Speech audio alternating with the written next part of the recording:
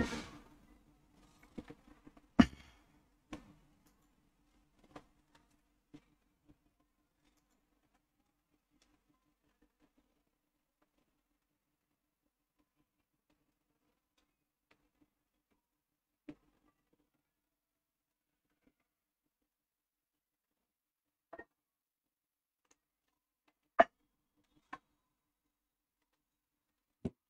আসসালামু আলাইকুম। আশা করি আপনারা সবাই ভালো আছেন, সুস্থ আছেন এবং নিরাপদ আছেন। যথারীতি আপনাদের জন্য ইন্টারাক্টিভ লাইভ কুইজ নিয়ে আসলাম। আমি সাথে আছি মোহাম্মদ আল আমিন। আপনারা কমেন্টসের মাধ্যমে জানিয়ে দেবেন যে আমাকে ভালোভাবে দেখা যাচ্ছে কিনা এবং আমার অডিও ভালোভাবে শোনা যাচ্ছে কিনা। আজকে আমরা ধারাবাহিকভাবে যে বিষয়টি নিয়ে ওপর কুইজ নিয়ে এসেছি, সেটি হচ্ছে বাংলাদেশের ইতিহাসে আধুনিক যুগ। এই আধুনিক যুগ আমাদের শুরু হয়েছিল সতেরোশো সাতান্ন থেকে বর্তমান পর্যন্ত। যেই ঘটনাবলীগুলো রয়েছে, আমরা আধুনিক যুগ থেকে ইনশাল্লাহ এগুলোর ব্যাখ্যা এবং বিশ্লেষণ দেওয়ার চেষ্টা করব। আপনারা উত্তর করবেন। আর যারা আমার অডিয়েন্স আছেন, তাদের প্রতি আমার একটাই অনুরোধ থাকবে, আপনারা এই ক্লাসটি বেশি বেশি করে শেয়ার দিবেন এবং সাথে থাকবেন। আপনারা আমাকে কনফার্ম করেন আমাকে ভালোভাবে দেখা যাচ্ছে কিনা এবং আমার অডিও ভালোভাবে শোনা যাচ্ছে কিনা। আপনারা উত্তর করবেন। আর যারা আমার অডিয়েন্স আছেন তাদের প্রতি আমার একটাই অনুরোধ থাকবে আপনারা এই ক্লাসটি বেশি বেশি করে শেয়ার দিবেন। আচ্ছা আলহামদুলিল্লাহ আমি নিজেও দেখে নিলাম। অডিও সব কিছু ঠিক ঠিকঠাক আছে। আমরা প্রথমে কয়েকটা গ্রুপে শেয়ার দিয়ে দিই। আপনারাও পারলে শেয়ার দিয়ে দিন। বেশি ওই গ্রুপে শেয়ার দিলে আজকের প্রতিযোগিতাটা অনেক জমবে। আমি প্রথমে আমার গ্রুপে শেয়ার দিয়ে দিচ্ছি। আমার গ্রুপের নাম হচ্ছে জি কে আলামিন স্যার আমি আরেকটি গ্রুপে শেয়ার দিয়ে দিচ্ছি। সেটির নাম হচ্ছে ক্যারিয়ার হাব এই ক্যারিয়ার হাব হচ্ছে ইংরেজি শিক্ষার অন্যতম একটি গ্রুপ আপনারা দেখবেন ক্যারিয়ার হাবে আমি দিয়ে দিলাম। আচ্ছা আমাদের অন্যতম একটি গ্রুপ সেটা হচ্ছে এসকে বুক হাউস। আমাদের প্রত্যেকটি লাইভ ক্লাস তারা শেয়ার রিসিভ করে এসকে বুক হাউস, নীল নীলক্ষেতে তো সেখানেও আমরা একটা শেয়ার দিয়ে দিলাম। আজকে আমাদের যে বিষয়গুলো নিয়ে আলোচনা হবে, সেটি হচ্ছে আধুনিক যুগের ইতিহাস। আধুনিক যুগের ইতিহাস নিয়ে আমরা আলোচনা করব। অত্যন্ত গুরুত্বপূর্ণ একটি আলোচনা হবে আপনাদের জন্য।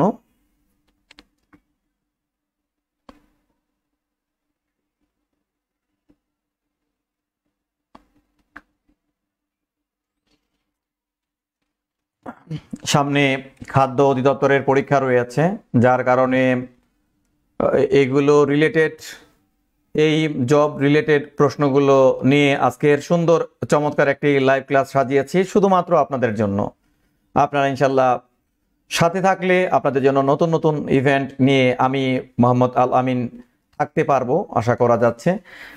আমরা আর কথা না বাড়িয়ে আমাদের মূল পর্বে শুরু চলে যাচ্ছি। আমাদের মূল পর্ব হচ্ছে আজকে আমাদের ক্লাসটি হচ্ছে আধুনিক যুগের ওপর অনেকেই আধুনিক যুগ যুগের ইতিহাসগুলো পড়তে গিয়ে অনেক বিরক্ত হন।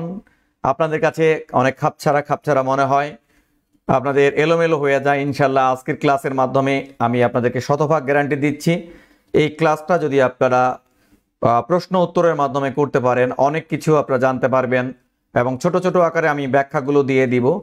আসলে অনেক সময় নিজে নিজে জব সলিউশন পড়তে গিয়ে আমাদের বিরক্তি আসে।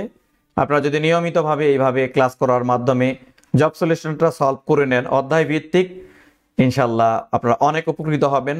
আমার এই লাইভ ক্লাসটি প্রকাশ ব্রডকাস্ট হচ্ছে বিসিএস ইন্সপিরেশন থেকে। আপনারা এই বিসিএস ইন্সপিরেশনে লাইক দিয়ে সাথে থাকবেন।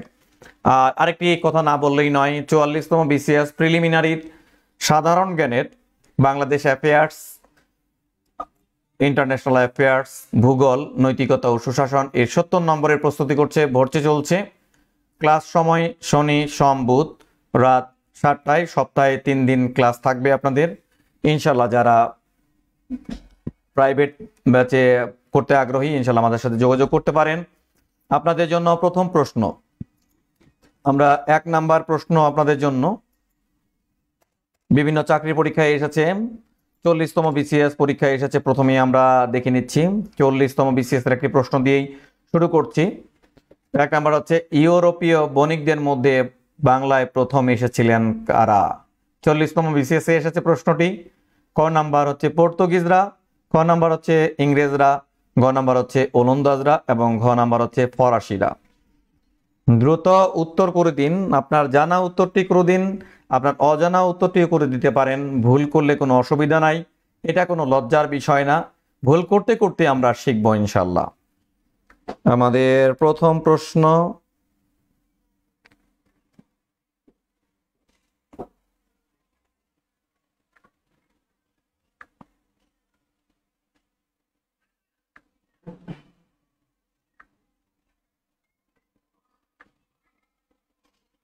আমরা এখন পর্যন্ত আপনাদের প্রশ্নটি উত্তর পাইনি, দ্রুত করে দিন। আচ্ছা ইতিমধ্যে আমরা উত্তর পেয়ে গিয়েছি। ইতিমধ্যে আমাদের সাথে অনেকে যুক্ত হয়ে গিয়েছেন। আমাদের সহকর্মী একজন আছেন অ্যাচিভমেন্ট ক্যারিয়ার কেয়ারের সাধারণ জ্ঞানের অত্যন্ত জনপ্রিয় একজন শিক্ষক আছেন আমাদের সাথে।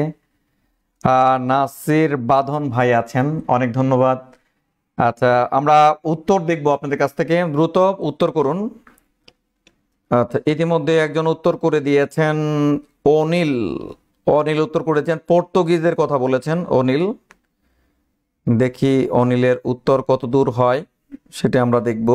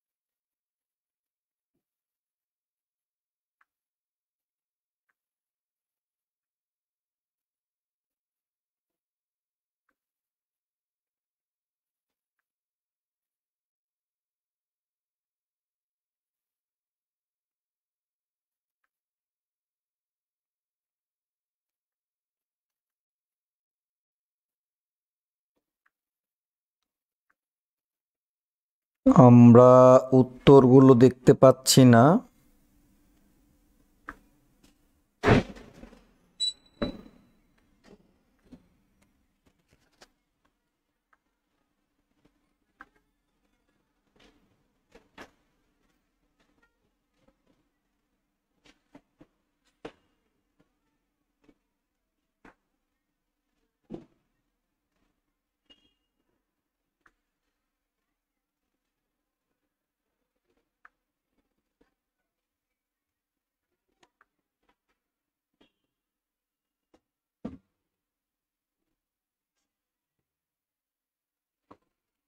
আচ্ছা এই ক্ষেত্রে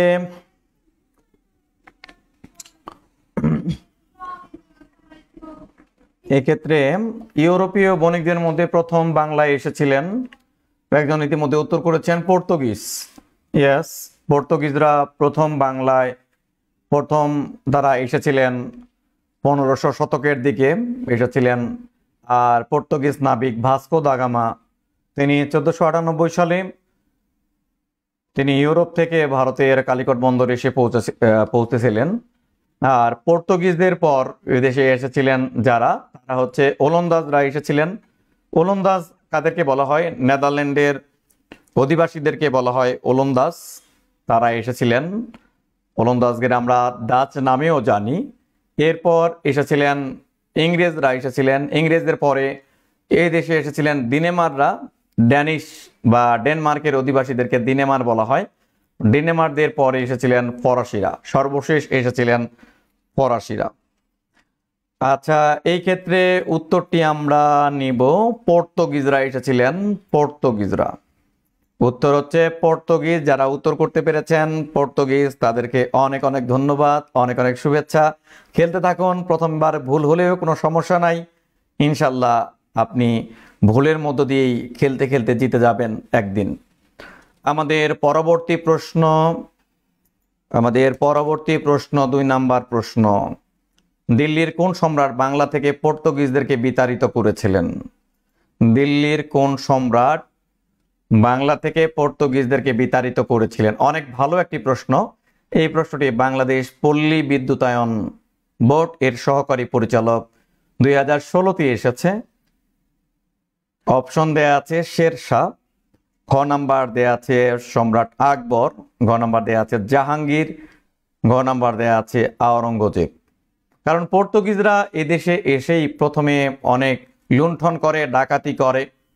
বুঝতে পেরেছেন? যার জন্য প্রথমেই একজন দিল্লির সম্রাট তাদেরকে বিতাড়িত করেছিলেন এবং পরবর্তীতে আরেকজন দিল্লির সম্রাটের প্রতিনিধি এই বাংলা থেকে পর্তুগিজদেরকে বিতাড়িত করেছিলেন। ইতিমধ্যে আমরা অপশন পেয়ে গিয়েছি। আমাদের সাথে খেলছেন ভালো ভালো খেলোয়াড়রা খেলছেন। যারা চাকরি যোদ্ধা যারা একসাথে তিন, চারটা চাকরির অ্যাপয়েন্টমেন্ট লেটার নিতে চান, তারাও আমাদের সাথে খেলছেন।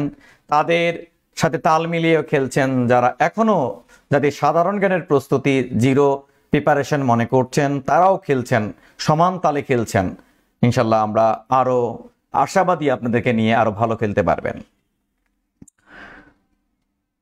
আবু বক্কর বলেছেন অপশন এ আমরা আরেকজনের উত্তর নিব। দ্রুত আপনারা উত্তর করুন, দেখি অপশন আর কোনটা হয়। আমাদের সাথে আরও যুক্ত হয়েছেন ফারুয়া ইবনে শওকত। তিনি মেনশন করেছেন শরীফুল ইসলামকে। জি ভাইয়া, আপনিও চাইলে এই লাইভ ক্লাসটি শেয়ার কমেন্টস এবং মেনশন করে দিন আপনার প্রিয় বন্ধু বান্ধবদেরকে অনেক কিছু শিখতে পারবেন। একদম মাখনের মতো মনে হবে আপনাদের এই ক্লাসটি। মধুর মতো মনে হবে। ইনশাল্লাহ আমি বলে দিচ্ছি। তো এই পর্তুগিজরা এই দেশে এসে যেহেতু লুণ্ঠন শুরু করেছিল, যার জন্য দিল্লির যে সম্রাট, তার নাম হচ্ছে শের শাহ। তিনি প্রথম বাংলা থেকে পর্তুগিজদেরকে বিতাড়িত করেছিলেন। শেরশাহ বাংলা থেকে পর্তুগিজদেরকে বিতাড়িত করেছিলেন। পরবর্তীতে দ্বিতীয়বারের জন্য বাংলা থেকে পর্তুগিজদেরকে বিতাড়িত করেছিলেন শায়েস্তা খান আওরঙ্গজেবের নির্দেশে। আওরঙ্গজেবের নির্দেশে বিতাড়িত করেছিলেন আবু বক্করকে। তার মূল্যবান উত্তরের জন্য অনেক অনেক ধন্যবাদ। ইনশাল্লাহ খেলতে থাকো আবু বক্কর। আমাদের পরবর্তী প্রশ্ন পরবর্তী প্রশ্ন জন্য আপনারা সবাই প্রস্তুত গ্রহণ, প্রস্তুতি গ্রহণ করুন। পরবর্তী প্রশ্ন আমাদের। পরবর্তী প্রশ্ন, কত সালে ইউরোপ হতে আফ্রিকার উত্তমাশা অন্তরীপ হয়ে সমুদ্রপথে পূর্ব দিকে আসার জলপথ আবিষ্কৃত হয়? এই প্রশ্নটি এসেছে প্রাথমিক সহকারী শিক্ষক দুই ক নাম্বার হচ্ছে চোদ্দশো সাতাশি সালে, খ নাম্বার চোদ্দোশো নব্বই সালে গ নাম্বার, চোদ্দোশো আটানব্বই সালে ঘ নাম্বার হচ্ছে পনেরোশো দুই সালে। যেহেতু ইউরোপীয়রা এদেশে জলপথ আবিষ্কার করেছিল কেন? ইউরোপীয়রা এই জলপথ আবিষ্কৃত করেছিল এই জন্য যখন তুর্কিরা বা অটোমানরা এই ইউরোপীয়দের এদেশে আসার যে রাস্তাটি কনস্ট্যান্টানেপল এই কনস্ট্যান্টানেপল দখল করে নিয়েছিল, যার কারণে ইউরোপীয়রা এদেশে ব্যবসা বাণিজ্যের জন্য তাদের বিকল্প একটি জলপথের আবিষ্কারের দরকার হয়। স্পেনের রানী ইসেবালার অর্থ অনুদানে প্রথম উদ্যোগ নিয়েছিলেন ক্রিস্টোফার কলম্বাস। তিনি সান্টা মারিয়া, নিনা এবং পিন্তা তিনটি জাহাজের মাধ্যমে চোদ্দশো সালে ভারত আবিষ্কার করতে গিয়ে ভুল কর্মে তিনি চলে গিয়েছিলেন। পশ্চিম ভারতীয় দ্বীপপুঞ্জ, যেটার নাম হচ্ছে ওয়েস্ট ইন্ডিজ। সেখানে চলে গিয়েছিলেন, আবিষ্কার করতে পারেননি। পরবর্তীতে পরবর্তীতে জলপথ আবিষ্কার করেছিলেন এক পর্তুগিজ এবং তার এই জলপথ ধরে ভাস্কো দাগামা চোদ্দশো আটানব্বই সালে ভারতে এসেছিলেন। এইভাবে জলপথ আবিষ্কৃত হয়, ইউরোপীয়রা এদেশে ব্যবসা বাণিজ্য করার প্রয়াস পায়। যার ধারাবাহিকতায় আমরা দেখেছি এই ভারতবর্ষ প্রায় দুইশত বছর ইউরোপীয়র শাসনে ছিল। যাই হোক, ইতিমধ্যে আমরা অনেকজনের সম্পৃক্ত সম্পৃক্ততা দেখতে পাচ্ছি। ধীরে ধীরে আমাদের গ্রুপের ভিউয়ার অনেক বেড়ে যাচ্ছে।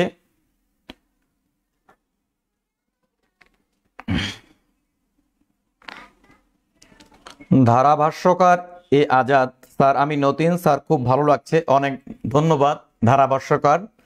আমাদের আবু বক্কর উত্তর দিয়েছেন, আমাদের পারুয়া ইবনে শকত উত্তর দিয়েছেন, আমাদের অনিল উত্তর দিয়েছেন, আমাদের অ্যানগোরাস কামো উত্তর দিয়েছেন অঙ্গরাজ কামো উত্তর দিয়েছেন। তারা উত্তর বলেছেন, চোদ্দশো সাতাশি ইয়াস যেহেতু সবার এই উত্তরটি মিলে যাচ্ছে, সেটি হচ্ছে চোদ্দশো সাতাশি। চোদ্দশো সাতাশি সালে এই ভারতের জলপথ আবিষ্কৃত হয়। জলপথটা আবিষ্কৃত হয় চোদ্দশো সাতাশি সালে আর চোদ্দশো আটানব্বই সালে খ্রিস্ট ভাস্কো দাগামা প্রথম ভারতবর্ষে আসেন। যারা উত্তর করতে পেরেছে, তাদেরকে অনেক অনেক ধন্যবাদ। যারা উত্তর করতে পারোনি বা পারেননি, হতাশ না হয়ে উত্তর করতে থাকুন। আমাদের পরবর্তী প্রশ্ন, শুধু আপনাদের জন্য, চার নাম্বার প্রশ্ন। ভারতের পর্তুগিজ শক্তির প্রকৃত প্রতিষ্ঠাতাকে এটি জাহাঙ্গীরনগর বিশ্ববিদ্যালয়ের খুব রিসেন্ট একটি প্রশ্ন। ষোলো সতেরোর প্রশ্ন দিয়েছি আপনাদের জন্য। অনেক গুরুত্বপূর্ণ চাকরির জন্য, প্রাইমারির জন্য, খাদ্য অধিদপ্তরের জন্য। আমি অনেক অ্যানালাইসিস করে প্রশ্নগুলো সিলেকশন করেছি, শুধু আপনাদের জন্য। ইনশাল্লাহ আপনাদের খুব ভালো একটা রেসপন্স পাবো বলে এই ধরনের সেট নিয়ে ইনশাল্লাহ আমি আছি আপনাদের সাথে। আমাদের অপশন দেয়া আছে আল বুকার্ক খ নাম্বার দেয়া আছে ভাস্কো দাগামা গ নাম্বার দেয়া আছে বার্থলো মিও দিয়াস, ঘ নাম্বার দেয়া আছে ফ্রান্সিসকো ডি আলমিডা উত্তরগুলো, অপশনগুলো অনেক চমৎকার অপশন। ভাস্কো দাগামা তিনি ভারতের প্রথম জলপথ আবিষ্কার করেছিলেন। আসেন, প্রথম ভারতবর্ষে এসেছিলেন চোদ্দশো সালে। এক্ষেত্রে বার্থলোমিউ দিয়ার্স, তিনি এই জলপথটা আবিষ্কার আবিষ্কার করেছিলেন চোদ্দশো সাতাশি সালে। তাহলে আমরা ধরে নিতে পারি আল বুকার্ক এবং ফ্রান্সিসকো ডি আলমিডা। আপনারা এই দুইটা থেকে উত্তর করতে পারেন আল বুকার্ক অথবা ফ্রান্সিসকো ডি আলমিডা। আপনাদের জন্য অনেক সহজ করে দিলাম। উত্তর করে দিন। আচ্ছা ঠিক আছে, ইতিমধ্যে আমরা আপনারা অবশ্যই প্রশ্ন নম্বর সহ উত্তর করতে হবে, না হলে আপনাদের উত্তর নেওয়া হবে না। আপনারা ইতিমধ্যে যারা এই রিয়েলিটি গেম শো খেলেছেন, তারা জানেন যে প্রশ্ন নম্বর সহ অপশন দিতে হবে। এক্ষেত্রে আমরা আবু বক্করের উত্তরটি পেয়েছি।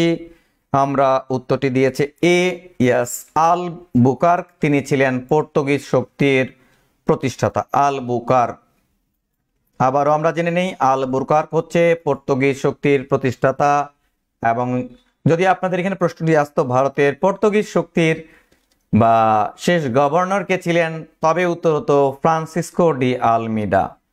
এক্ষেত্রে হচ্ছে পর্তুগিজ শক্তির প্রতিষ্ঠাতা হচ্ছে আল বুকার্ক অনেক একটি ভালো প্রশ্ন ছিল, যারা ভালোভাবে উত্তর করতে পেরেছে। অনেক ধন্যবাদ তাদেরকে আমাদের পরবর্তী প্রশ্ন। পরবর্তী প্রশ্ন, কলকাতা নগরীর প্রতিষ্ঠাতাকে চট্টগ্রাম বিশ্ববিদ্যালয়। দুই নয় এবং দুই হাজার দশে এই প্রশ্নটি এসেছে- তো কলকাতা নগরী অনেক একটি সমৃদ্ধ নগরী। কলকাতা নগরীর জন্য ষোলোশো সালে এই কলকাতাটি কিনে নিয়েছিল একজন ইংরেজ প্রশাসক, মাত্র বারোশো টাকার মাধ্যমে। পরবর্তীতে এই কলকাতা নগরী প্রতিষ্ঠিত হয়। আর পলাশী যুদ্ধের পর এই কলকাতা নগরীর পুরোপুরি ইংরেজদের দখলে চলে আসে। অনেক ঐতিহাসিক জিনিসগুলো রয়েছে কলকাতাতে। যেমন রয়েছে ভিক্টোরিয়া মেমোরিয়াল রয়েছে, কলকাতাতে রয়েছে। আচ্ছা এক্ষেত্রে আপনারা প্রশ্ন নম্বর সহ উত্তর করবেন। প্রশ্ন নম্বর সহ কলকাতা নগরীর ক নাম্বার দেওয়া আছে, লর্ড ক্লাইভ। তিনি ছিলেন বাংলার প্রথম গভর্নর, ইংরেজ গভর্নর, লর্ড ডালহৌসি। ঘ নাম্বার দেওয়া আছে, অয়েলেসলি। ঘ নাম্বার দেওয়া আছে, জব চানর্ক। আমি ইনশাল্লাহ বলতে চাই যে এই প্রশ্নগুলো আপনারা সলভ করবেন। এগুলো থেকে আপনারা সর্বোচ্চ প্রশ্নগুলো কমন পড়বে আপনাদের জন্য। কলকাতা নগরী ইতিমধ্যে অনেকেই উত্তর করেছে, প্রশ্ন নাম্বার সহ আপনারা উত্তর করবেন। আমরা কোন উত্তরটি দিব, ক্লাইভ, লর্ড ক্লাইভ হবে না। লর্ড ক্লাইভ, এটা ডালহসিয়া হবে না, ওয়েলেসলি হবে না। উত্তর হচ্ছে জব চানক জব চানক এই ষোলোশো সালে তিনি কলকাতা শহরটিকে কিনে নিয়েছিলেন বারোশো টাকার মাধ্যমে এবং তিনি প্রতিষ্ঠা করেছিলেন কি? কলকাতা নগরী। কলকাতা পশ্চিমবঙ্গের পশ্চিমবঙ্গের রাজধানী নাম হচ্ছে কলকাতা। আমাদের ছয় নাম্বার প্রশ্ন আপনাদের জন্য। শুধুই আপনাদের জন্য খেলতে থাকুন, ছন্দে ছন্দে তালে তালে খেলতে থাকুন। আসলে খেলার মধ্যে যদি একটা ছন্দ থাকে, একটা বিনোদন থাকে, সেই খেলাটা, সেই পড়াটা হয়ে যায় মহনীয়, আকর্ষণীয়। সেভাবে ইনশাল্লাহ আমি আছি আপনাদের সাথে। ছয় নাম্বার দেয়া আছে, হামার্ড শব্দটি কোন ভাষা থেকে এসেছে? হামার্ড হামার্ড এটি যাবি দুই হাজার আট থেকে দুই হাজার নয় এই প্রশ্নটি এসেছে। হামার্ড ক নাম্বার দেয়া আছে স্প্যানীয়, খ নাম্বার দেয়া আছে পর্তুগিজ, গ নাম্বার দেয়া আছে বার্মিস ঘ নাম্বার দেয়া আছে আরাকানি। স্পেনের জনগণকে বলা হয় স্প্যানিশ, পর্তুগিজ, পর্তুগালের জনগণকে বলা হয় পর্তুগিজ বার্মিস আরাক মায়ানমারকে বলা হয় বার্মিস আরাকানি, আরাকানদেরকে বলা হয় আরাকানি।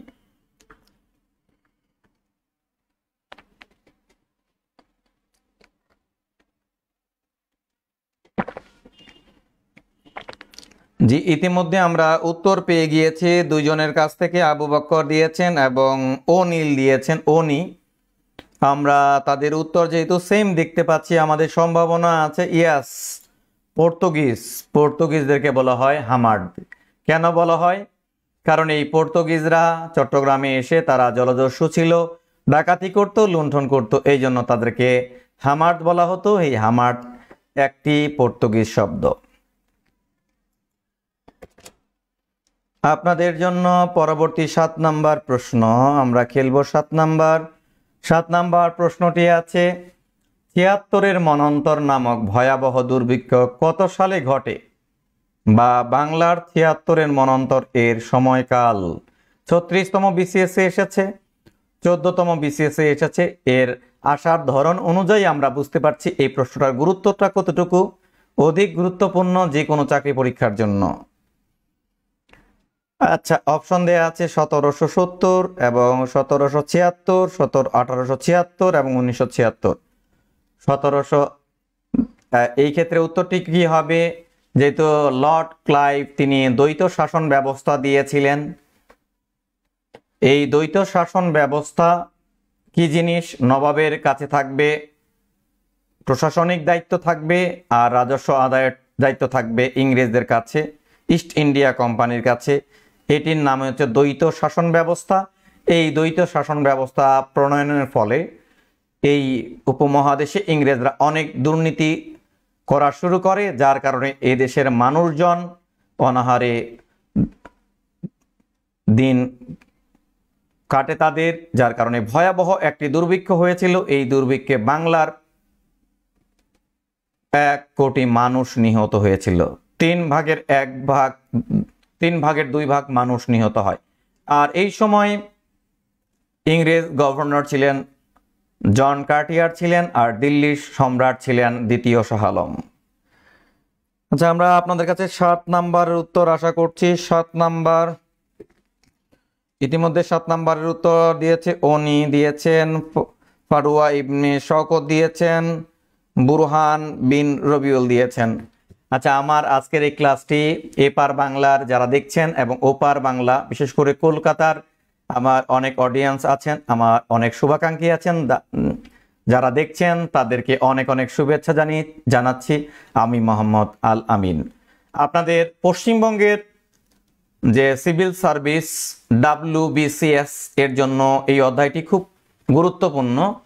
আর আমাদের এপার বাংলাদেশের বিসিএস এর জন্য গুরুত্বপূর্ণ, যেহেতু আপনাদের পশ্চিম বাংলার জন্য ইতিহাস পড়তে হয়, সেহেতু আমাদের যে বিসিএস এর সাথে যেটা রিলেশন রয়েছে, প্রাচীন যুগ মধ্যযুগ এবং আধুনিক যুগ, আপনাদের সিলেবাসের সাথে ইতিহাস বিষয়টি রয়েছে।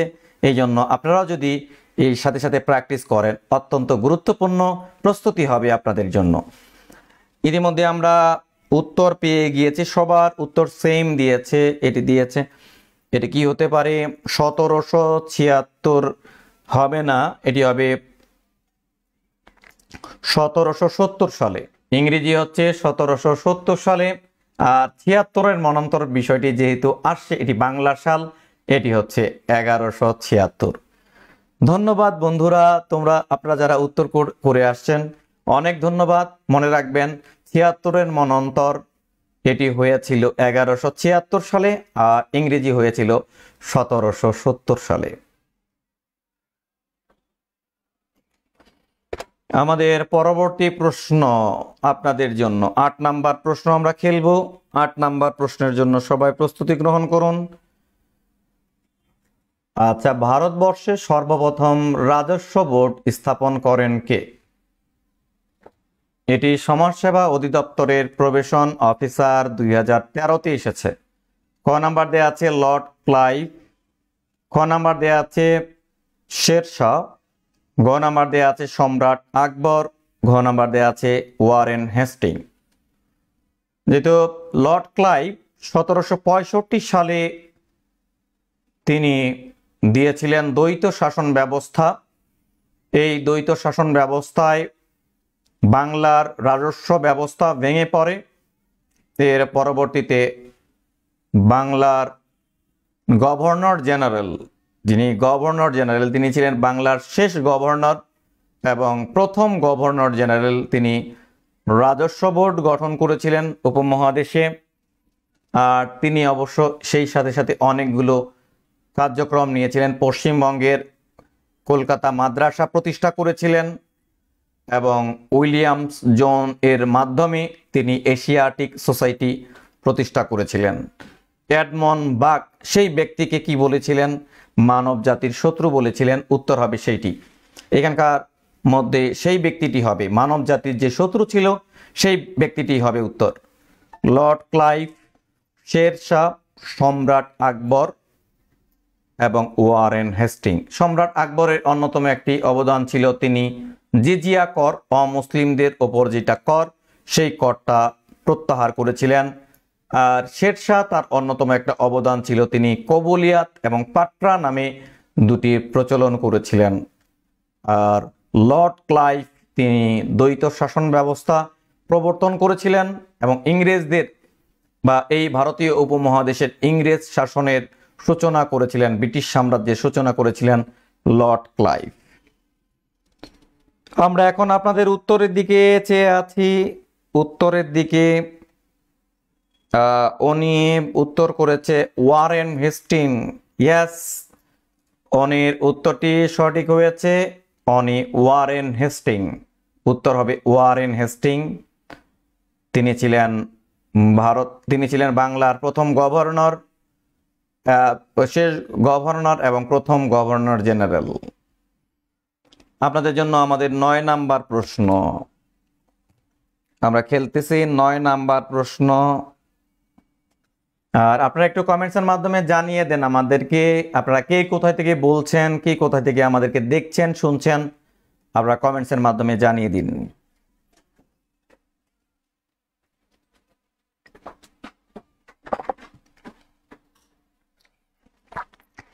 আমাদের পরবর্তী প্রশ্ন, নয় নম্বর প্রশ্ন। প্রশ্নটি হচ্ছে, ভারতীয় উপমহাদেশে ভারতীয় উপমহাদেশে প্রথম রেল চালু করেন কে? এটি স্বরাষ্ট্র মন্ত্রণালয়ের, এটি স্বরাষ্ট্র মন্ত্রণালয়ের কারা তত্ত্বাবধায়ক দুই হাজার পাঁচে এসেছে এই প্রশ্নটি। ক নাম্বার, লর্ড রিপন, খ নাম্বার হচ্ছে লর্ড হ্যান্ডি ট্রোপার গ নাম্বার লর্ড কার্জন, ঘ নাম্বার রয়েছে লর্ড ডালহর্ষি ভারতীয় উপমহাদেশের প্রথম রেল ব্যবস্থা যিনি চালু করেছিলেন, তিনি অনেক গুরুত্বপূর্ণ জিনিসগুলো আরও ভারতবর্ষে করেছিলেন, গঙ্গা ক্যানেল তিনি করেছিলেন।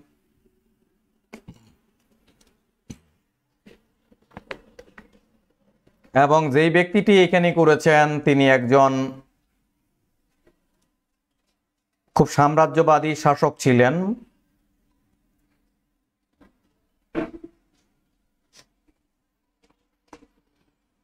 আমরা এখন আপনাদের উত্তরটি দেখব। উত্তর ইতিমধ্যে আমরা পেয়ে গিয়েছি। পারুয়া ইবনে শকত উত্তর করেছেন ঘ। উত্তর করেছেন ঘ, লর্ড ডালহৌসি। উত্তর হবে লর্ড ডালহৌসি। আঠারোশো তেপ্পান্ন সালে তিনি প্রথম এই উপমহাদেশে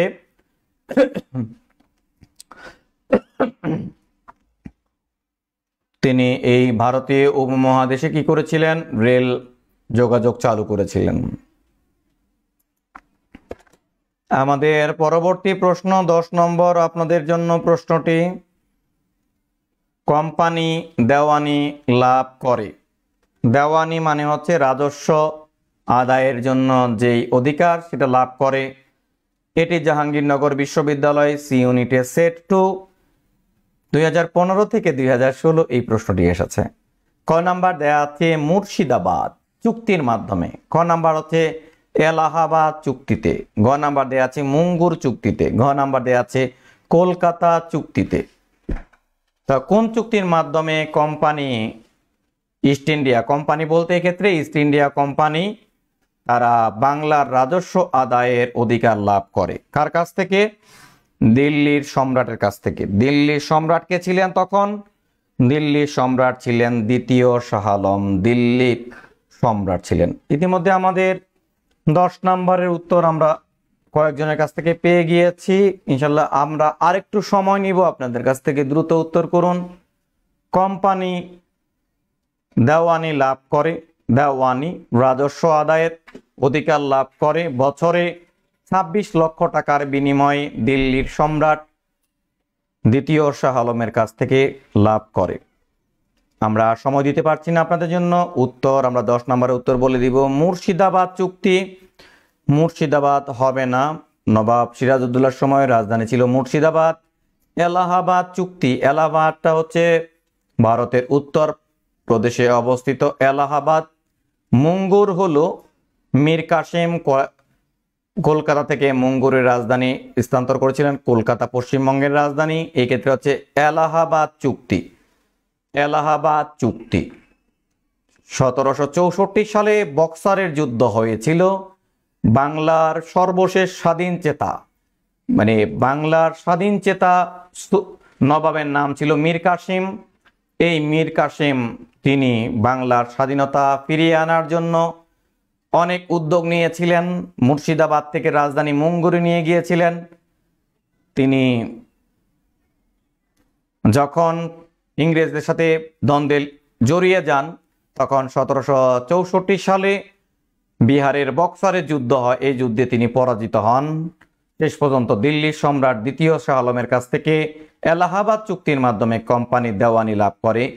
ইস্ট ইন্ডিয়া কোম্পানি উত্তর হচ্ছে খ নাম্বার। যারা খ নাম্বারে উত্তর করতে পেরেছেন, তাদের উত্তরটি সঠিক হয়েছে। এক্ষেত্রে পারুয়া ইবনে শকত ভুল উত্তর করেছেন।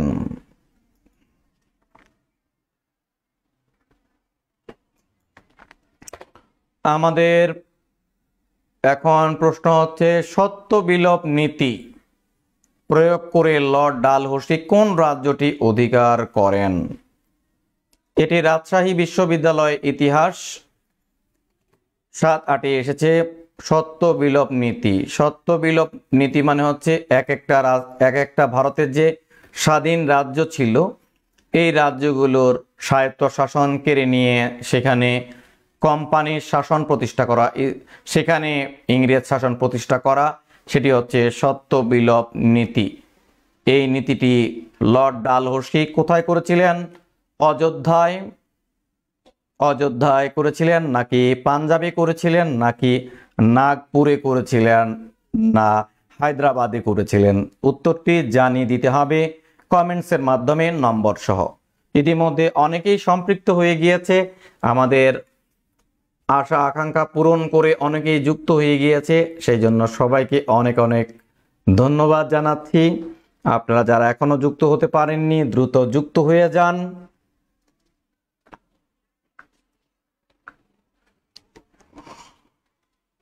আমাদের প্রশ্ন হচ্ছে, বারো নম্বর প্রশ্ন, আপনারা অবশ্যই নম্বর সহ উত্তরটি আপনাদেরকে জানিয়ে দিতে হবে। আমরা আজকে খেলছি চাকরির পরীক্ষার অধ্যায় ভিত্তিক বিগত সালের প্রশ্নোত্তর পর্ব খেলা। আজকের আমাদের আলোচনা আপনাদেরকে বলে দিচ্ছি, আমাদের আলোচনা হচ্ছে আধুনিক যুগের ইতিহাস। আধুনিক যুগের ইতিহাস আমরা আজকে আলোচনায় রেখেছি। আজকে আমাদের সাথে আলোচনা প্রশ্নোত্তর পর্বে খেলছেন আমাদের এপার বাংলা এবং ওপার বাংলার অনেক শিক্ষার্থীরাই খেলছেন। আমাদের এদিকে বিসিএস তাদের ওপারে রয়েছে ডাব্লিউ বিসিএস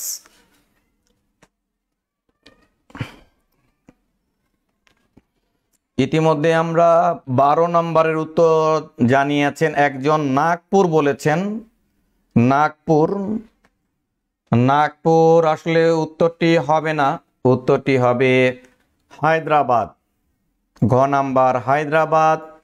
এটি সত্য বিলোপের মাধ্যমে অধিকারে চলে গিয়েছিল ইংরেজদের। যাই হোক, তারপরে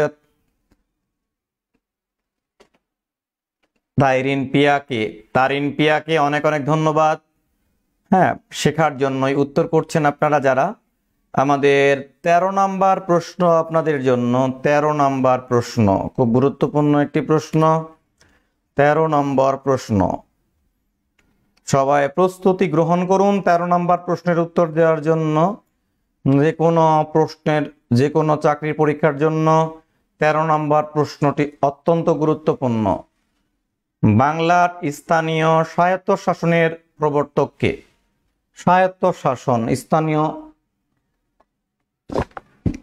স্থানীয় স্বায়ত্ত শাসন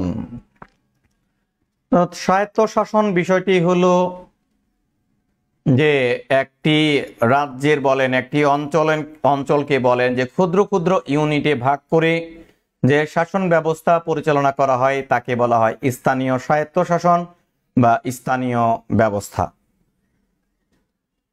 আর এই স্থানীয় ব্যবস্থার মধ্যে অপশন দেওয়া আছে লর্ড উইলিয়াম ব্যান্টিক, খ নাম্বার দেওয়া আছে লর্ড লিটন, গ নাম্বার দেওয়া আছে লর্ড রিপন, ঘ নাম্বার দেওয়া আছে লর্ড কার্জন। উত্তর ইতিমধ্যে আমরা পাচ্ছি। অনিল বলছে, লর্ড রিপন। আমরা আরও উত্তর নিতে যাচ্ছি। খেয়াল করবেন, লর্ড ব্যান্টিং তার এই উপমহাদেশে অবদান ছিল। তিনি আঠারোশো উনত্রিশ সালে সতীদাহ প্রথা বিলুপ্ত করেছিলেন। লর্ড লিটন তিনি একজন বিখ্যাত ইংরেজি সাহিত্যিক ছিলেন, যিনি ব্রিটিশ রানী ভিক্টোরিয়াকে উপাধি দিয়েছিলেন কাইসার ই হিন্দ উপাধি দিয়েছিলেন। আচ্ছা আমরা এখন লর্ড কার্জন যিনি বঙ্গভঙ্গ করেছিলেন উনিশশো পাঁচ সালে, তার আমলে বঙ্গভঙ্গ হয়েছিল। লর্ড রিপন তিনি দিয়েছিলেন স্থানীয় স্বায়ত্ত শাসন ব্যবস্থার প্রবর্তন করেছিলেন লর্ড রিপন। লর্ড রিপন আরও অনেকগুলো কাজ করেছিলেন। লর্ড রিপন, তিনি এদেশে হান্টার কমিশন গঠন করেছিলেন, যে ভারত উপমহাদেশে প্রথম শিক্ষা কমিশনের নাম হচ্ছে হান্টার কমিশন, এই লর্ড রিপন দিয়েছিলেন। যারা উত্তর লর্ড রিপন করতে পেরেছেন, তাদের উত্তরটি পুরোপুরি সঠিক হয়েছে। লর্ড রিপনকে ভারত বন্ধু বলা হয়। চমৎকার জমে উঠেছে প্রচুর। আজকে অডিয়েন্স প্রচুর। খেলায় মেতে উঠেছে, খেলতে খেলতে সাধারণ জ্ঞান পর্বে সবাইকে আমন্ত্রণ জানাচ্ছি। আমি আছি আপনাদের সাথে মোহাম্মদ আল আমিন, সাধারণ জ্ঞানের একজন কেরিয়ার কনসালটেন্ট যে কোনো চাকরির পরীক্ষায় সাধারণ জ্ঞান কীভাবে পড়তে হবে, কোথা থেকে পড়তে হবে? সাধারণ জ্ঞান বাংলাদেশের বিসিএস পরীক্ষার জন্য বাংলাদেশ অ্যাফেয়ার্সে তিরিশ ইন্টারন্যাশনাল অ্যাফেয়ার্সে বিশ নম্বর, ভূগোল, পরিবেশ, দুর্যোগ ব্যবস্থাপনার দশ নম্বর, নৈতিক নৈতিকতা, মূল্যবোধ ও সুশাসনের দশ নম্বর, মোট সত্তর নম্বরের অনলাইন প্রস্তুতি করতে আপনাদের ভর্তি চলছে। আপনারা যারা ভর্তি হতে আগ্রহী, ইনশাল্লাহ আপনারা আমাদের সাথে যুক্ত হতে পারেন। যেহেতু অনলাইনের মাধ্যমে আপনাদের অর্থনৈতিক সুবিধার কথা বিবেচনা করে এবং আপনাদের সময়ের কথা বিবেচনা করে অনলাইনে ইনশাল্লাহ দীর্ঘ এই করোনাকালীন সময় আপনাদেরকে সার্ভিস দিয়ে আসছি। প্রতিটি ক্লাসের বিপরীতে আপনারা পাবেন ক্লাস টেস্ট, প্রতিটি অধ্যায়ের পাবেন পিডিএফ, নোট, সাপ্তাহিক ক্লাসগুলোর আলোকে পাবেন সাপ্তাহিক মডেল টেস্ট এবং প্রতি সাবজেক্টের ভিত্তিতে আলাদা করে পাবেন পূর্ণাঙ্গ মডেল টেস্ট। ইনশাল্লাহ আমাদের পরবর্তী প্রশ্ন ষোলো নাম্বার প্রশ্ন আপনাদের জন্য। আমরা ষোলো নাম্বার প্রশ্নের জন্য, আমিও প্রস্তুত, আপনিও প্রস্তুত, দেখি আমরা ষোলো নাম্বার প্রশ্ন প্র- পড়ে নেই। প্রথম স্বাধীনতা সংগ্রাম কোনটি? প্রথম স্বাধীনতা সংগ্রাম কোনটি? স্বরাষ্ট্র মন্ত্রণালয়ের কারা তত্ত্বাবধায়ক? পাঁচ, ক নাম্বার দেওয়া আছে, তিতুমিরের বাঁশের কেল্লা। ক নাম্বার দেওয়া আছে, তিতুমিরের বাঁশের কেল্লা। ক নাম্বার দেয়া আছে জালিওয়ান ওয়ালাবাগের সংগ্রাম। গ নাম্বার দেয়া আছে অসহযোগ আন্দোলন। ঘ নাম্বার দেয়া আছে সিপাহী বিদ্রোহ। ইতিমধ্যে আমাদের সাথে যারা খেলছেন, তাদের নামগুলো আমি ইনশাল্লাহ পড়ে দিচ্ছি। আমাদের সাথে আছে তাইরিন পিয়া আছেন, আমাদের সাথে আছে অনিল আছেন, আমাদের আরও অনেক বন্ধুরা, যুক্ত হয়ে গিয়েছেন আমাদের সাথে ইনশাল্লাহ জমজমাট একটা আসর বসেছে। ইতিমধ্যে ষোলো নম্বর প্রশ্নের জন্য আমরা দুইজনের উত্তরটি পেয়েছি। আমরা একজনের উত্তর পেয়েছি। অনিল বলছেন, সিপাহী বিপ্লব। ফারুয়া ইবনে শওকত বলেছেন, সিপাহী বিপ্লব। আপনারা কমেন্টসে লেখার দরকার নাই। আপনারা শুধুমাত্র প্রশ্ন লিখে অপশন লিখলে আমি বুঝতে পারব। ইনশাল্লাহ আপনারা কি উত্তর দিয়েছেন? তিতুমিরের বাঁশের কেল্লা। তিতুমির, তিনি প্রথম নারিকেল বাড়িয়ায় বাঁশের কেল্লা নির্মাণ করেন। তিতুমির ইংরেজদের বিরুদ্ধে প্রথম শহীদ হয়েছিলেন বিদ্রোহ করে জালিয়ান আলাবাগ সংগ্রাম। এটি হয়েছিল উনিশশো উনিশ সালে। ভারতের পাঞ্জাবের অমৃতসরে জালিয়ান অলাবাগ হত্যাকাণ্ড হয়েছিল।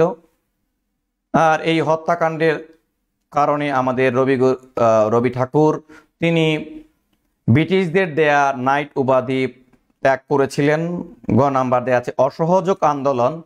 এটা দিয়েছিলেন মহাত্মা গান্ধী, অসহযোগ আন্দোলনের অন্যতম প্রবক্তা সিপাহী বিদ্রোহ। সিপাহী বিদ্রোহ হয়েছিল সতেরোশো সাতান্ন সালে, তার মানে হচ্ছে ভারতের প্রথম স্বাধীনতা সংগ্রাম। এর হচ্ছে সিপাহী বিদ্রোহ। এই সিপাহীরা তারা কি করেছিলেন? তারা দিল্লির সম্রাট দ্বিতীয় বাহাদুর শাহকে ভারতের সম্রাট করেছিলেন এবং বিদ্রোহে মেতে উঠেছিলেন। ইংরেজরা তার জন্য দ্বিতীয় বাহাদুর শাহকে মিয়ানমারের রেঙ্গুনে তাকে নির্বাসিত করেছিল। এই দ্বিতীয় বাহাদুর শাহ রেঙ্গুনে তার সমাধি রয়েছে। এই ক্ষেত্রে উত্তর হবে আমাদের ঘ অপশন, সিপাহী বিদ্রোহ। আচ্ছা আমাদের পরবর্তী প্রশ্ন আপনাদের জন্য। পরবর্তী প্রশ্ন, সতেরো নাম্বার প্রশ্ন সবাই প্রস্তুতি গ্রহণ করুন। আমরা শুরু করছি সতেরো নাম্বার প্রশ্ন। প্রশ্নটি অত্যন্ত গুরুত্বপূর্ণ। ঢাকায় আঠারোশো সাতান্ন সালের সিপাহী বিদ্রোহের স্মৃতি জড়িত স্থানের নাম। জগন্নাথ বিশ্ববিদ্যালয় দুই হাজার চোদ্দোতে এসেছে। ক নাম্বার হচ্ছে ন্যাশনাল পার্ক, খ নাম্বার দেয়া আছে শহরেদি উদ্যান, ঘ নাম্বার দেয়া আছে বাহাদুর শাহ পার্ক, ঘ নাম্বার দেয়া আছে রমনা পার্ক। কারণ সিপাহী বিদ্রোহের সময় বাংলাদেশের একটা পার্কে ইংরেজরা বিদ্রোহীদেরকে ধরে ধরে এই পার্কের মধ্যে ফাঁসি দিয়ে ঝুলিয়ে রাখতো এই দেশের সিপাহীদেরকে এবং জনগণকে ভয় দেখানোর জন্য। এবং এই পার্কটি তৎকালীন নাম ছিল আন্টাঘর এবং পরবর্তী নাম হয় ভিক্টোরিয়া পার্ক। আর আমাদের এখন বর্তমান নামটি কি? বলতে হবে বর্তমান নামটি কি? সতেরো নম্বরের উত্তর ইতিমধ্যে করে দিয়েছে দুইজন।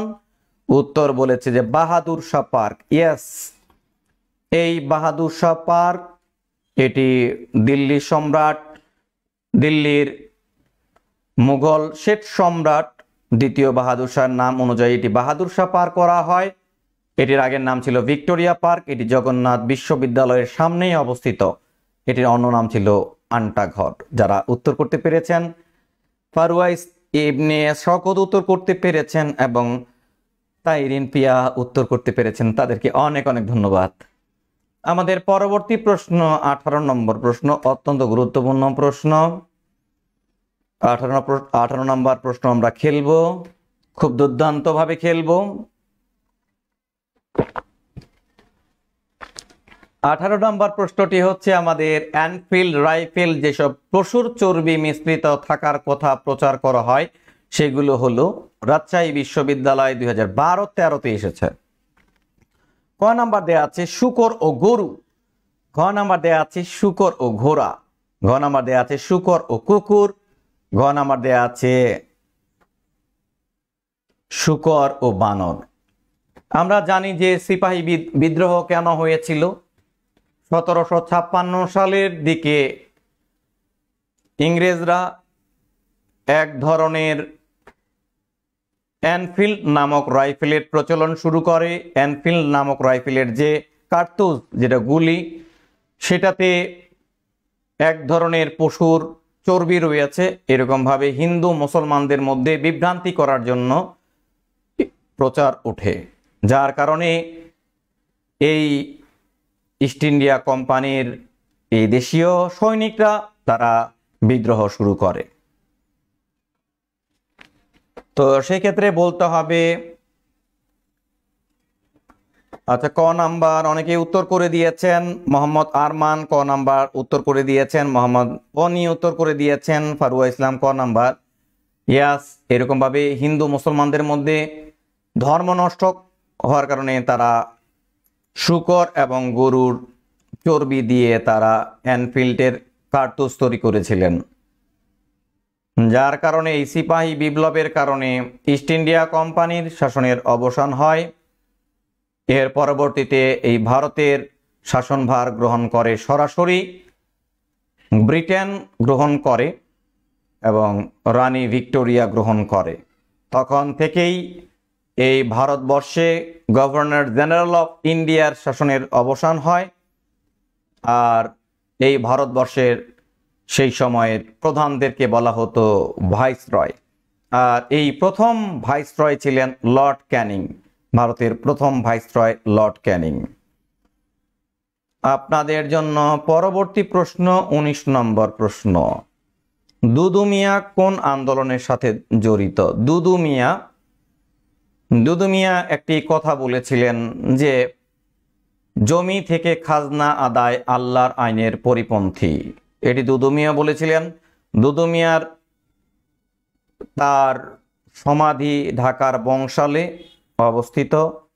দুদুমিয়ার প্রধান সেনাপতির নাম ছিল জালালউদ্দিন, লাঠিয়াল জালালউদ্দিন।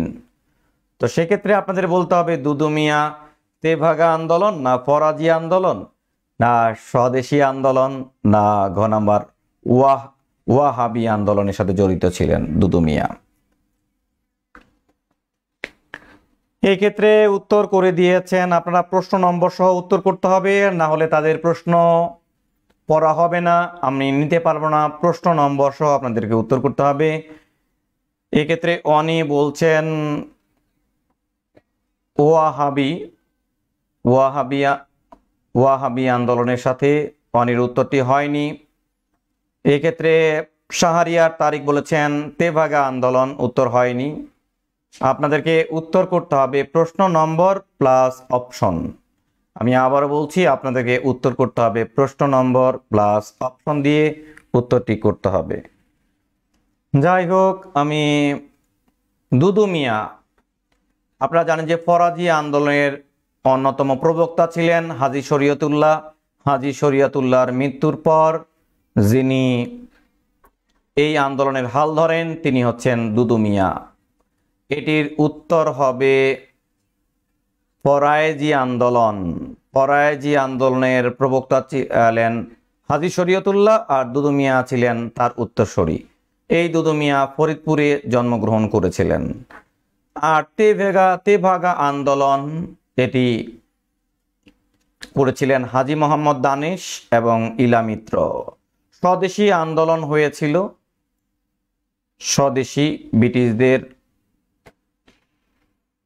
পণ্য ব্যবহার না করে স্বদেশী, সেটা হচ্ছে স্বদেশী আন্দোলন, ওয়া হাবি আন্দোলন। এটি হচ্ছে মুহাম্মদ বিন আব্দুল ওয়াহাব। তিনি ছিলেন এই প্রবর্তক আর এই ভারতবর্ষে যিনি ওহাবি আন্দোলনের প্রচলন করেছিলেন, সৈয়দ ব্রেহেলভি ব্রেলভি আবদুল্লাহ ব্রেহেলভি করেছিলেন। আচ্ছা আপনাদের জন্য বিশ নম্বরের প্রশ্ন, বিশ নাম্বার প্রশ্ন। বিশ নাম্বার প্রশ্ন, বাংলায় নীল চাষের বিরুদ্ধে বিদ্রোহের সূচনা হয় কোথায়? ক নাম্বার দেয়া আছে মুর্শিদাবাদে, খ নাম্বার দেয়া আছে ঢাকায়, গ নাম্বার দেয়া আছে মানিকগঞ্জে ঘ নাম্বার দেয়া আছে কুষ্টিয়ায়। তো নীল চাষ কি? নীল চাষ মূলত যখন ইংল্যান্ডে সতেরোশো ষাট সালে সব বস্ত্র কলকারখানা ভিত্তিক উৎপাদন শুরু হয়, সেই উৎপাদন ব্যবস্থাকে বলা হয় শিল্প বিপ্লব। আর এই শিল্প বিপ্লবের ফলে কাপড় শিল্পের জন্য প্রচুর নীলের চাহিদা বেড়ে যায়। তার জন্য এই ভারতবর্ষে ইংরেজরা এদেশের নাগরিকদের দিয়ে, সাধারণ কৃষকদের দিয়ে জোরপূর্বক নীল চাষ করাতে বাধ্য।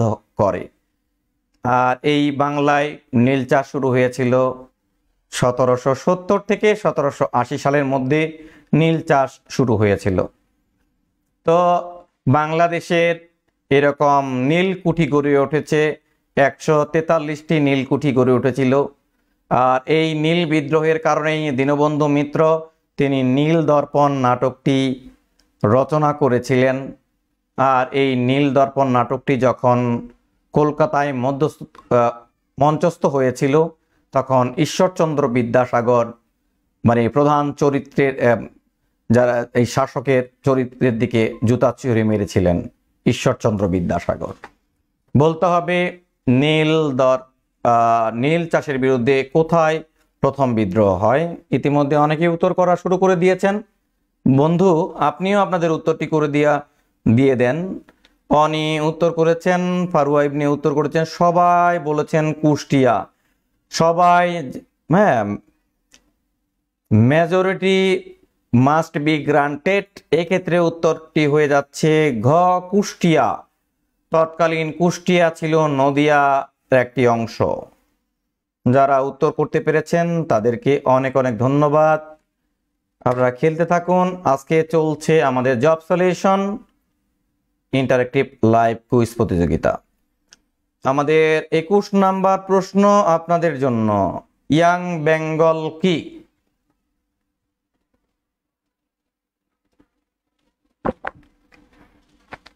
আপনাদের জন্য প্রশ্ন, ইয়াং বেঙ্গল কি? ইয়াং বেঙ্গল কি? ইয়াং বেঙ্গল এর প্রবক্তা ছিলেন Henry Louis Derozio Young Bengal, Bangladesh পরিসংখ্যান ব্যুরো ডাটা এন্ট্রি। দুই হাজার বিশের একদম রিসেন্ট প্রশ্ন দিয়েছে এটা। ক নাম্বার, বাংলা ভাষা শিক্ষার্থী ইংরেজ। ইংরেজি ভাবধারা পুষ্ট বাঙালি যুবক। ঘ নাম্বার হচ্ছে একটি সাহিত্যিক গোষ্ঠীর নাম। ঘ নাম্বার একটি সাময়িক পত্রিকার নাম। অত্যন্ত গুরুত্বপূর্ণ একটি প্রশ্ন। এটি মূলত যে ইংরেজি শিক্ষায় শিক্ষিত হতে হবে। হ্যাঁ এরকম একটি জাগরণ ছিল।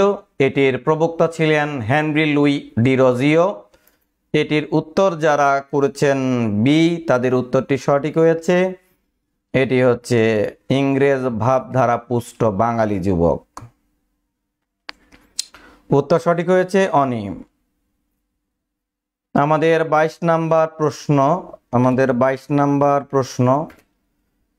India wins freedom.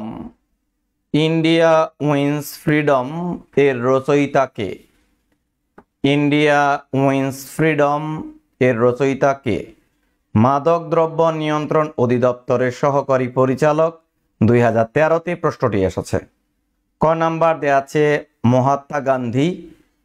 খ নাম্বার দেয়া আছে জওহরলাল নেহেরু। গ নাম্বার আমাদের দেয়া আছে আবুল কালাম আজাদ। ঘ নাম্বার দেয়া আছে লুধিয়ানায়। বন্ধুরা, দ্রুত উত্তর করে দিন। আপনাদের কাঙ্ক্ষিত উত্তর বলে দিবে, উত্তরটি সঠিক হয়েছে কিনা। ইতিমধ্যে ফারুয়া ইবনে শওকত উত্তর করে আসছেন। দ্রুত উত্তর করতে থাকুন। আচ্ছা ইন্ডিয়া উইন্স আমরা এমন একজন ব্যক্তি এটি রচনা করেছেন যিনি যিনি ভারতবর্ষে মুসলমান এবং হিন্দুদের সম্প্রীতি চেয়েছিলেন এবং সেই ব্যক্তিটি ছিলেন ভারতবর্ষের প্রথম, স্বাধীন ভারতের প্রথম শিক্ষামন্ত্রী ছিলেন।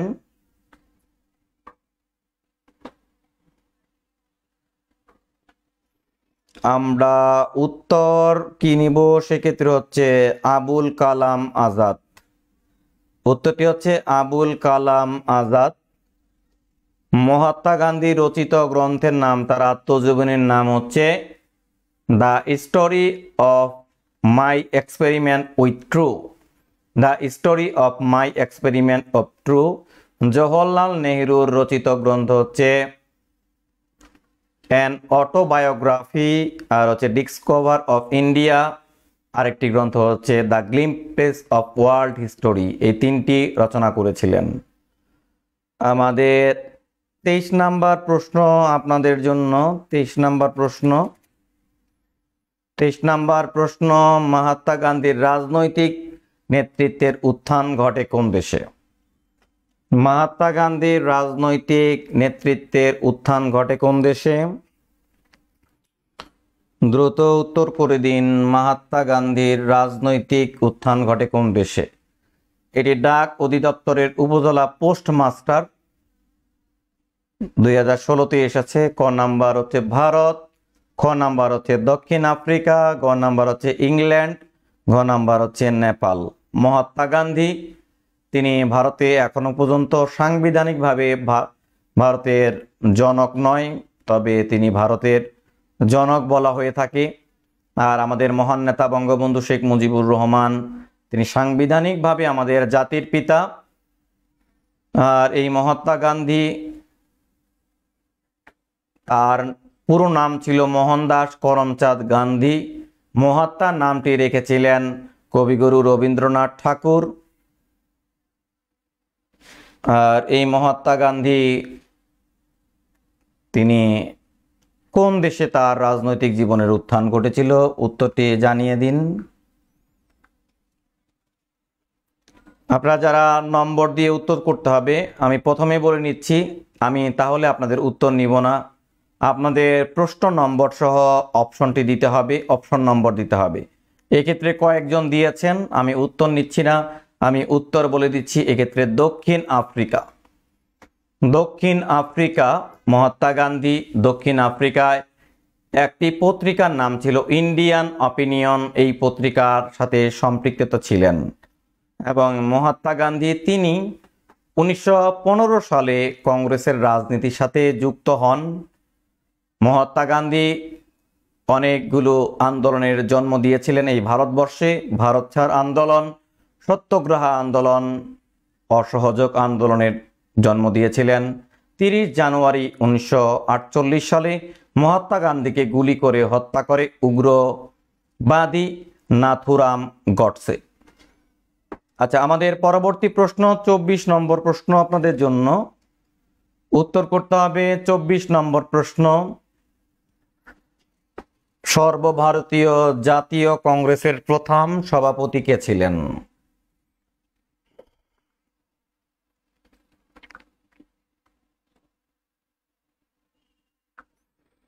সর্বভারতীয় জাতীয় কংগ্রেসের। ষোলো নম্বর প্রশ্নের জন্য আমিও প্রস্তুত আপনিও প্রস্তুত। দেখি আমরা ষোলো নম্বর প্রশ্ন পড়ে নেই। প্রথম প্রশ্নের জন্য আমিও প্রস্তুত। আমাদের চোদ্দ নম্বর প্রশ্ন যে চব্বিশ নম্বর প্রশ্ন সর্বভারতীয় জাতীয় কংগ্রেসের প্রথম সভাপতি কে ছিলেন?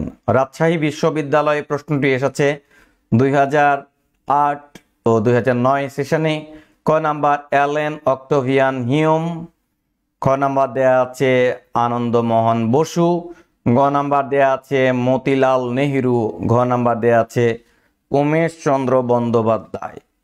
আমরা জানি যে ভারতীয় উপমহাদেশের প্রথম রাজনৈতিক দলের নাম হচ্ছে কংগ্রেস, ভারতীয় কংগ্রেস, আর এই ভারতীয় কংগ্রেস হচ্ছে এই উপমহাদেশের বৃহত্তম রাজনৈতিক দল। এই কংগ্রেসটি গঠন করা হয়েছিল আঠারোশো পঁচাশি সালে। ইংরেজ একজন কর্মকর্তা অ্যালেন অক্টোভিয়ান হিউম তিনি প্রতিষ্ঠা করেছিলেন, কারণ এদেশের হিন্দুদেরকে নিয়ে তিনি গঠন করেছিলেন, যারা যেন ভারতবর্ষে তারা ইংরেজদের বিরুদ্ধে বিদ্রোহ না করে, আন্দোলন না করে, এরকমভাবে তারা এটা করেছিলেন। এক্ষেত্রে উত্তর আমরা কয়েকজনের উত্তর পেয়েছি। চব্বিশ নাম্বার অনি, সোহেল রানা শকত যেহেতু সেম উত্তর করেছে, ঘ নাম্বার ইয়েস এক্ষেত্রে উত্তর হচ্ছে ঘ। উমেশ চন্দ্র বন্দ্যোপাধ্যায়। তো কংগ্রেসের প্রথম সভাপতি মনে রাখবেন, কংগ্রেসের প্রতিষ্ঠাতা হচ্ছে অ্যালেন অক্টোভিয়ান হিউম, আর প্রথম প্রথম সভাপতি ছিলেন উমেশ চন্দ্র বন্দ্যোপাধ্যায়। আর যদি বলা হয় প্রথম নারী সভাপতি ছিলেন কে? তিনি ছিলেন সরোজিনী নাউরু, যাকে নাইট নাইটেঙ্গেল অফ ইন্ডিয়া বলা হয় বা ভারতের কাকিল্য বলা হয়। আমাদের পরবর্তী প্রশ্ন মহাত্মা গান্ধী কোন জেলা সফর করেছিলেন? মহাত্মা গান্ধী বাংলাদেশের কোন জেলা সফর করেছিলেন? পঁচিশ নম্বর প্রশ্ন। মহাত্মা গান্ধী ভারতের কোন জেলা সফর করেছিলেন? এটি বেগম রোকেয়া বিশ্ববিদ্যালয়। পনেরো ষোলোতে এসেছে। ক নাম্বার দেয়া আছে নোয়াখালী। খ নাম্বার দেয়া আছে বরিশাল। খ নাম্বার দেয়া আছে ঢাকা। ঘ নাম্বার দেওয়া আছে খুলনা। বলতে হবে এখানকার মধ্যে উত্তর হবে কোনটি? মহাত্মা গান্ধী বাংলাদেশে এসেছিলেন এই জন্য যে যখন দেশ বিভাগ হয় উনিশশো সাতচল্লিশ সালে, তার এক বছর পূর্বে বাংলাদেশের এই উল্লেখিত একটি জেলায় সাম্প্রদায়িক দাঙ্গা সংগঠিত হয়। মাত্র বাহাত্তর ঘন্টায় চার হাজার মানুষ নিহত হয়েছিল। এবং এক লক্ষ মানুষ কি হয়েছিল? গৃহহীন হয়েছিল। এখানে একটি জনসভা করার জন্য এবং সম্প্রীতি করার জন্য তিন মাস তিনি এই অঞ্চলটিতে ছিলেন। উত্তরটি আপনাদের করতে হবে কমেন্টসের মাধ্যমে। দ্রুত কমেন্টসের মাধ্যমে উত্তরটি জানিয়ে দিন। ইতিমধ্যে একজনের উত্তর আমরা পেয়েছি। ইবনে শকত ক নাম্বার বলেছেন, আমরা আরও কয়েকজনের উত্তরটি নিতে চাচ্ছি।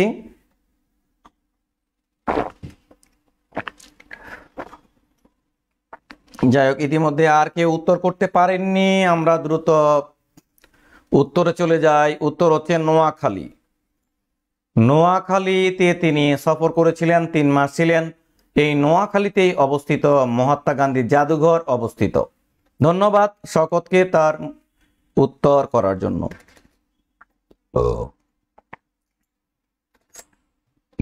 আমাদের পরবর্তী প্রশ্ন ২৬ নাম্বার প্রশ্ন।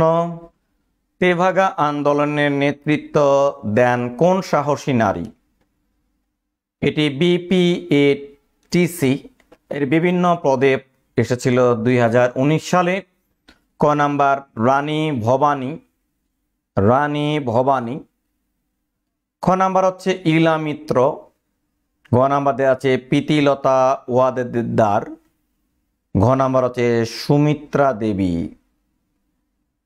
অনেক ভালো একটি প্রশ্ন, তেভাগা আন্দোলন মূলত যে কৃষকরা যদি জমি চাষাবাদ করে, তাহলে কৃষকরা পাবে তিন ভাগের দুই ভাগ, এক ভাগ পাবে জমির মালিক। এটি ছিল মূলত তেভাগা আন্দোলন।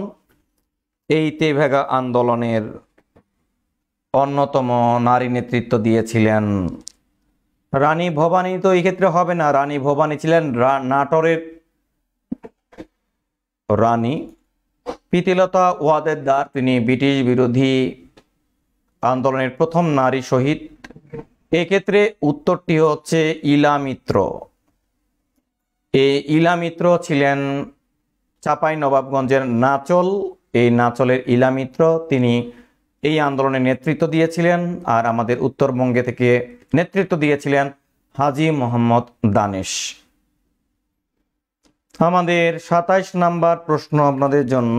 সাতাইশ নাম্বার প্রশ্ন, উত্তরটি খেয়াল করুন, প্রশ্নটি খেয়াল করুন। যে ইংরেজকে হত্যার অভিযোগে ক্ষুদিরামকে ফাঁসি দেওয়া হয়, তার নাম রাজশাহী বিশ্ববিদ্যালয়, দুই হাজার আট এবং দুই হাজার নয় সালে প্রশ্নটি এসেছে।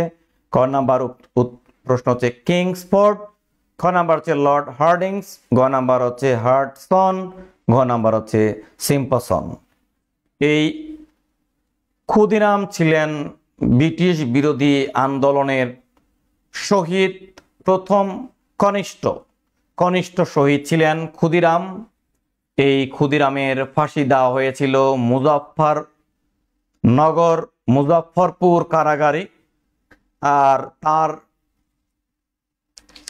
উদ্দেশ্যেই রচিত হয়েছিল, একবার বিদায় দেগো মা, একবার বিদায় দাও, ঘুরে আসি।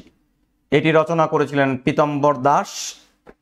বলতে হবে আপনাদেরকে, কোন ব্যক্তিকে হত্যার অভিযোগে? আমরা ইতিমধ্যে সাতাশ নম্বর উত্তর একজনের কাছ থেকে পেয়ে গিয়েছি। তিনি বলছেন, কিংসফোর্ড। ইয়েস তিনি উনিশশো নয় সালে কিংসফোর্ডকে হত্যা করা হত্যা করেন, যার কারণে উনিশশো নয় সালে তাকে ফাঁসি দেওয়া হয় মুজাফফরপুর কারাগারে। আমাদের আঠাইশ নাম্বার প্রশ্ন বলতে হবে, লগ্ন চুক্তি স্বাক্ষরিত হয় কত সালে? লগ্ন চুক্তি স্বাক্ষরিত হয় কত সালে? এটি বাংলাদেশ টেলিভিশনের বিজ্ঞাপন অধিকারিক দুই হাজার এসেছে।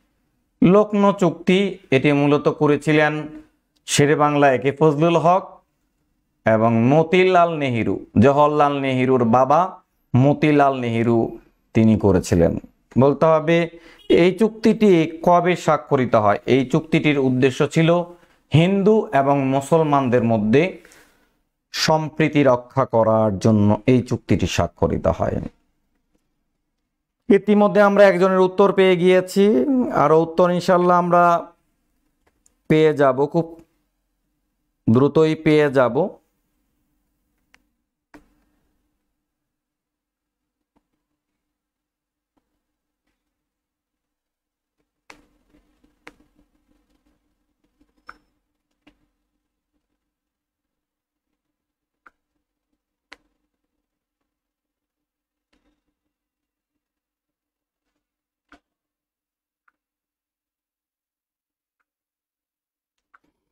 অনেকে উত্তর এখনও করছ- করছেন।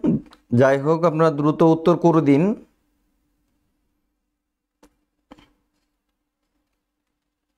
আচ্ছা আমরা উত্তর পেয়ে গিয়েছি সাতাশ নাম্বার। অনি আচ্ছা আমরা এটা আঠাইশ নাম্বার অনি উত্তর করেছেন।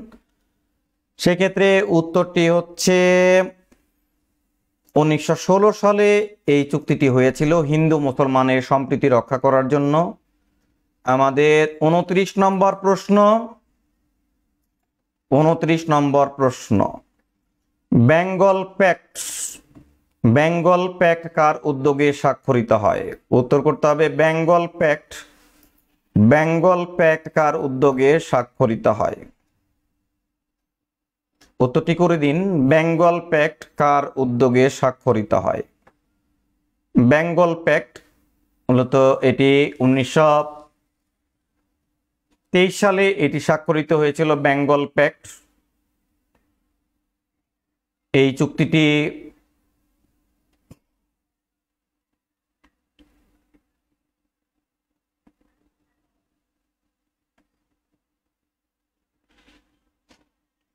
করেছিলেন এ কে ফজলুল হক এবং চিত্তরঞ্জন দাস করেছিলেন। নিখিল মুসলিম লীগ এবং কংগ্রেসের মধ্যে এই চুক্তিটি স্বাক্ষরিত হয়েছিল হিন্দু মুসলমানের সম্প্রীতি রক্ষার জন্য।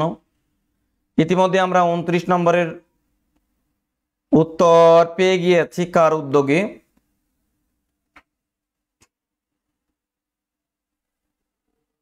Bengal Pact. এর উত্তরটি হবে ঘ, চিত্তরঞ্জন দাস। চিত্তরঞ্জন দাসের উদ্যোগে এই চুক্তিটি স্বাক্ষরিত হয়েছিল। আমাদের তিরিশ নম্বর প্রশ্ন।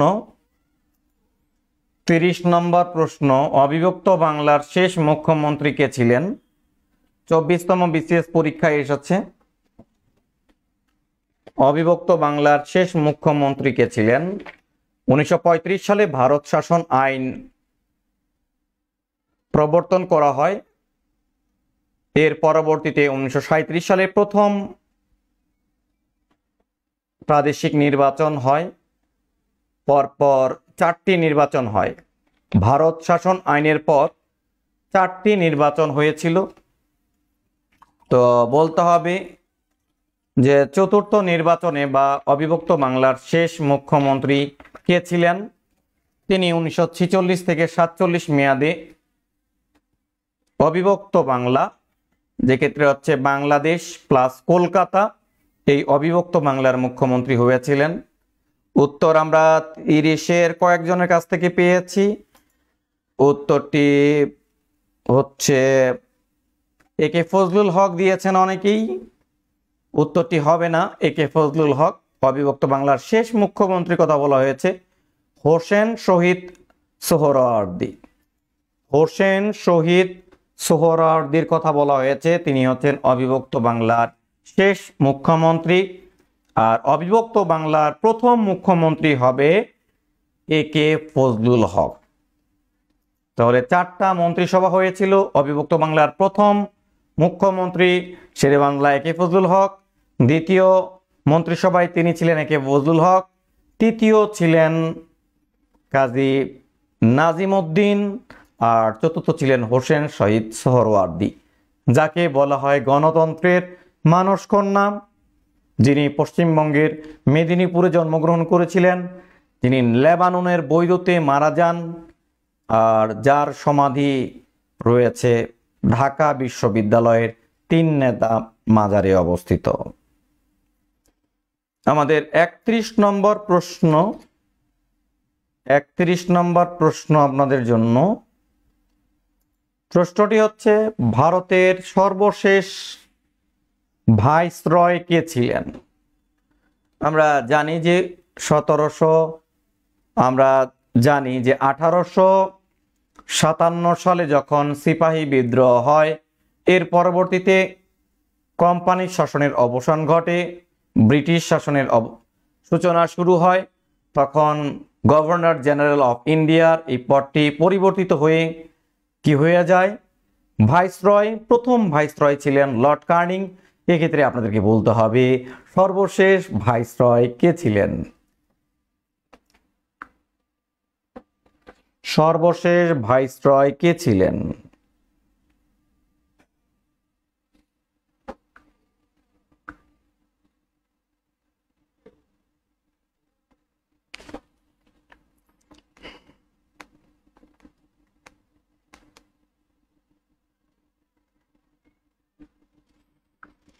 এক্ষেত্রে আপনাদেরকে বলতে হবে সর্বশ্রেষ্ঠ ভাইসরয় কে ছিলেন? একত্রিশ নম্বর প্রশ্ন হচ্ছে, উত্তরটি দিয়ে দিয়েছেন শকও দিয়েছেন লর্ড মাউন্ট ব্যাটন ইয়েস তিনি ছিলেন ব্রিটিশ ভারতের সর্বশেষ ভাইসরয় এবং স্বাধীন ভারতের প্রথম গভর্নর জেনারেল। আপনাদের জন্য বত্রিশ নম্বর প্রশ্ন। এই প্রশ্নটির বলতে হবে, লাহোর প্রস্তাবকে উত্থাপন করেন? এই প্রশ্নটি এসেছে মাদকদ্রব্য নিয়ন্ত্রণ অধিদপ্তর, অফিস সহকারী কাম কম্পিউটার মুদ্রাক্ষরিক। দুই হাজার আঠারোতে এসেছে, ক নাম্বার দেয়া আছে হোসেন শহীদ সরওয়ার্দি। খ নাম্বার দেয়া আছে শেরে বাংলা একে ফজলুল হক। গ নাম্বার দেয়া আছেন আব্দুল হামিদ খান ভাসানী। ঘ নাম্বার দেয়া আছে নবাব সলিমুল্লাহ। লাহোর প্রস্তাব। এটি দেওয়া হয়েছিল তেইশ মার্চ উনিশশো চল্লিশ সালে। লাহোর প্রস্তাবটা আসলে কি? লাহোর প্রস্তাবটা হচ্ছে যে এই ভারত উপমহাদেশে একাধিক মুসলিম রাষ্ট্র হবে। একাধিক মুসলিম রাষ্ট্র কোথায় হবে?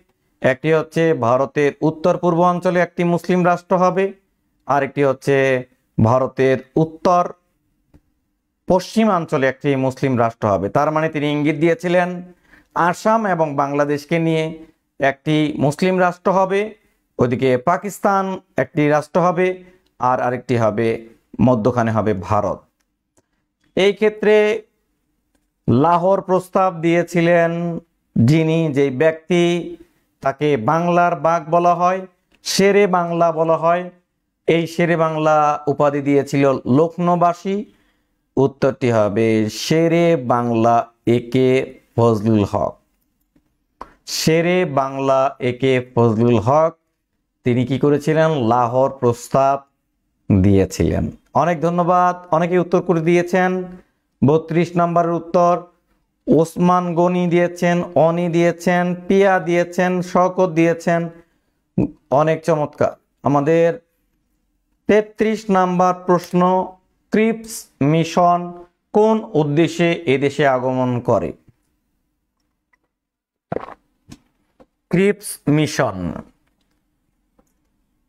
প্রাথমিক বিদ্যালয় সহকারী শিক্ষক করতোয়া দু হাজার দশ, ক নাম্বার অর্থনৈতিক, খ নাম্বার রাজনৈতিক, গ নাম্বার সামাজিক, ঘ নাম্বার সাংস্কৃতিক।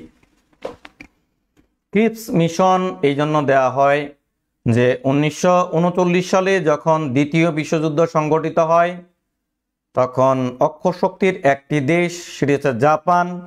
এই জাপান মিয়ানমার ও সিঙ্গাপুর দখল করে নেয়।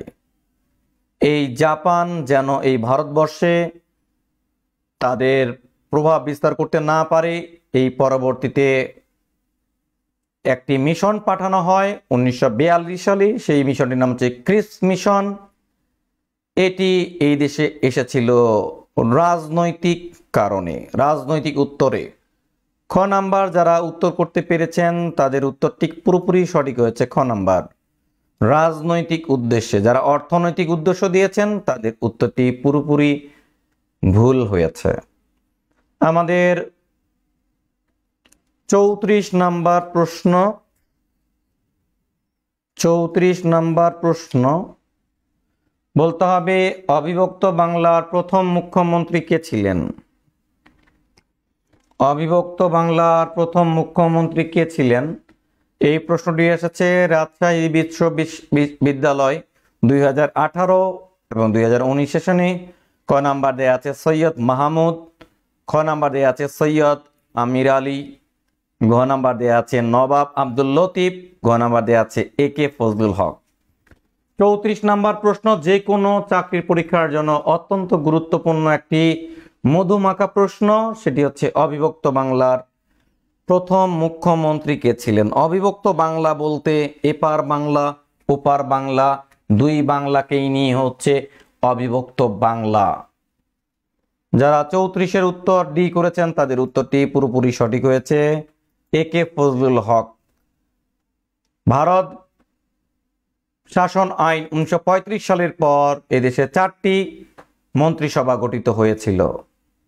তার মধ্যে প্রথম মন্ত্রিসভায় এ কে ফজলুল হক, তার দলের নাম হচ্ছে কৃষক প্রজা পার্টি, তার দলটির নাম ছিল কৃষক প্রজা পার্টি। আচ্ছা আমাদের পঁয়ত্রিশ নম্বর প্রশ্ন আপনাদের জন্য, পঁয়ত্রিশ পঁয়ত্রিশ নম্বর প্রশ্নটি সবাই দেখুন।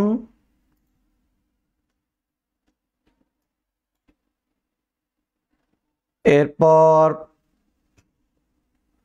অবিভক্ত বাংলার সর্বশেষ গভর্নর কে ছিলেন?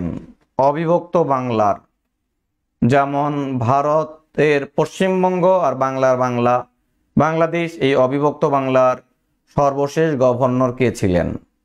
যখন উনিশশো উনিশশো পাঁচ সালে যখন বঙ্গভঙ্গ হয়, বাংলার গভর্নর করা হয়েছিল ব্যামফিল্ড ফুলারকে এবং পশ্চিম বাংলার গভর্নর করা হয়েছিল এন্ডো ফ্রিজারকে। যখন উনিশশো এগারো সালে বঙ্গভঙ্গ রদ হয় এবং শেষ পর্যন্ত এই অবিভক্ত বাংলার শেষ গভর্নরকে ছিলেন। ৩৫ নম্বর প্রশ্ন এই প্রশ্নটি এসেছে ঢাকা বিশ্ববিদ্যালয় দুই ছয় এবং দুই হাজার সাত সালে। পঁয়ত্রিশের উত্তর ইতিমধ্যে করে দিয়েছেন আমাদের অনি এবং শওকত। তারা বলেছেন, sir F Burrows sir F Burrows yes. উত্তরটি হবে, স্যার এফ ব্যারোস আপনাদের জন্য ছত্রিশ নম্বর প্রশ্ন। ছত্রিশ নম্বর প্রশ্নের জন্য সবাই প্রস্তুত নেন। প্রস্তুতি নিন। বাংলায় ঋণ সালিসি আইন কার আমলে প্রণীত হয়? প্রণীত প্রণীত হয় ঢাকা বিশ্ববিদ্যালয় দু হাজার চার এবং দুই হাজার পাঁচে। প্রশ্নটি এসেছে। কয় নাম্বার দেয়া আছে? এ কে ফজলুল হক। ছয় নাম্বার দেয়া আছে এইচ এম সোহরাওয়ার্দি, গ নাম্বার দেয়া আছে খাজা নাজিমউদ্দিন গ নাম্বার দেয়া আছে নুরুল আমিন। ঋণ সালিসি আইন, এটি বাংলায় কার আমলে প্রবর্তিত হয়? ছত্রিশের প্রশ্ন, যারা উত্তর করেছে ছত্রিশের এ দিয়ে দিয়েছে যারা, তাদের উত্তরটি সঠিক হবে। এ কে ফজলুল হক, এ কে ফজলুল হক, তিনি ঋণ সালিসি আইন, মহাজনী আইন, এগুলোর প্রবর্তন করেছিলেন। তিনি বাংলার জন্য কি করেছিলেন? শুক্রবারে শ্রমিকদের দোকান বন্ধ থাকবে। বেকারত্বদের জন্য, মুসলিম বেকারদের জন্য চাকরির কোটা ব্যবস্থা প্রবর্তন করেছিলেন। তিনি হচ্ছেন শেরে বাংলা এ কে ফজলুল হক। আমাদের ছত্রিশ নম্বর প্রশ্ন। সম্রাট আকবরের, সম্রাট জাহাঙ্গীরের দরবারে প্রথম ইংরেজ দূত কে ছিলেন? ক্যাপ্টেন হকিংস, খ নাম্বার এডওয়ার্ড, গ নাম্বার স্যার টমাস রো, ঘ নাম্বার হচ্ছে উইলিয়াম ক্যারি। এই প্রশ্নটি এসেছে বাংলাদেশ পল্লী উন্নয়ন, পল্লী বিদ্যুতায়ন বোর্ডের সহকারী পরিচালক দুই হাজার ষোলোতে। সম্রাট জাহাঙ্গীর, তিনি কিন্তু ইংরেজদেরকে ভারতবর্ষে কি করেছিলেন? বিনা শুল্কে বাণিজ্য করার সুবিধা প্রদান করেছিলেন সম্রাট জাহাঙ্গীরের। স্ত্রীর নাম ছিল নূরজাহান, তার আসল নাম ছিল মেহিরুন্নেছা আর এই সম্রাট জাহাঙ্গীরের আমল থেকেই শুরু হয়েছিল। সম্রাজ্ঞী একটি পদ শুরু হয়েছিল সম্রাট জাহাঙ্গীরের আমলেই। এই সম্রাট জাহাঙ্গীরের আমলেই সুবেদার ইসলাম খান, তিনি রাজধানী ঢাকায় স্থানান্তর করেছিলেন এবং ঢাকার নাম দিয়েছিলেন জাহাঙ্গীরনগর। আপনাদের সাঁত্রিশ নম্বরের প্রশ্নের উত্তর করতে হবে। এক্ষেত্রে আমরা কারোর উত্তর দেখতে পাচ্ছি না। উত্তরটি কি হবে? উত্তরটি হচ্ছে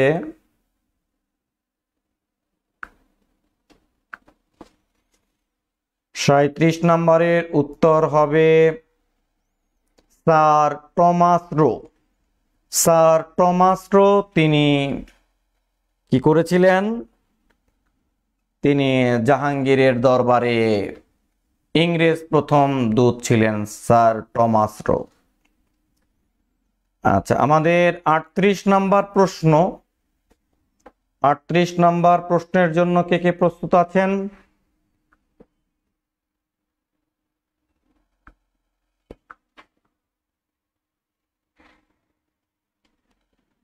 আটত্রিশ নম্বর প্রশ্ন।